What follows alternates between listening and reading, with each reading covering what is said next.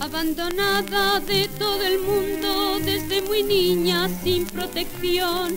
Fue mi camino surco profundo, inevitable de perdición. No tuve brazos que me estrecharan porque a mi madre no conocí. Todos huían y se apartaban sin hacer caso, pobre de mí.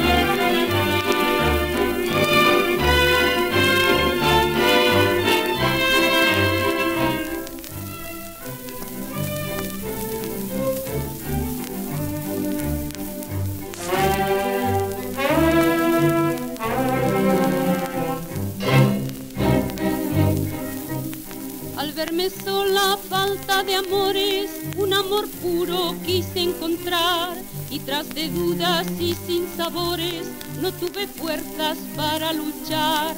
Mas poco a poco mi alma inocente en alma fría se convirtió y llegó un día que fatal